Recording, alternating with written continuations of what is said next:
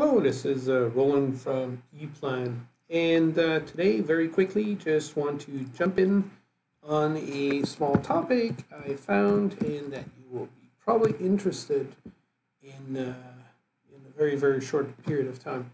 So, of course, if uh, we look at this uh, when you sign in, when you join uh, here, you know that you get access to your ePlan Cloud. And what is new on the ePlan Cloud or will be really new, uh, most likely as I release this video here, is the version 2026. You've probably heard about it.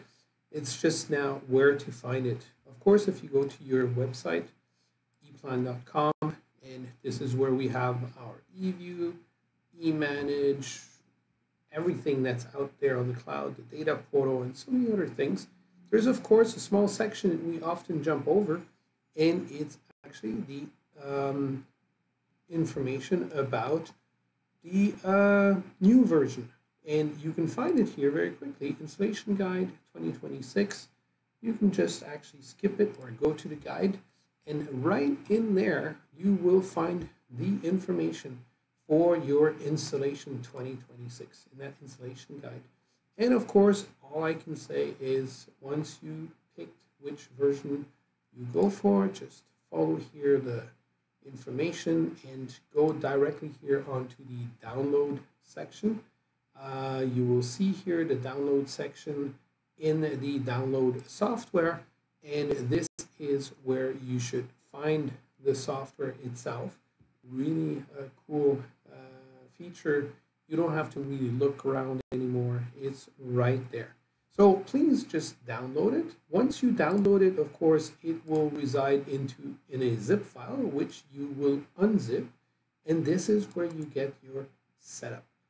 I recommend you start this simply here with the.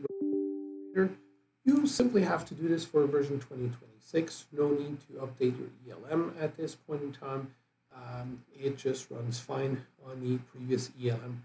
So just run the installation as is. It most likely recognizes your company name, in this case, ePlan CA for me, myself.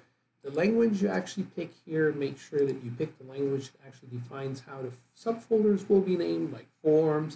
If you prefer the French version, just go with formulaire and set it up to French, and then run the install. And in this install here, you can see all the different things that will and gets installed, you just click go ahead. In my case, I just have it installed and it actually does install as always an icon and this icon on your basically on your desktop will then start the software. Typically, if you have ePlan installed from a previous version, it will have a small one-time question about taking over the settings. I recommend you do take over the settings from your previous version. It makes it a lot easier. And then it just starts. This was Roland from ePlan helping you or trying to help you install that new version, which is just as easy as clicking on the setup.exe and just follow up and start it up. And that's it. That's all. Easy. Thank you. This was Roland.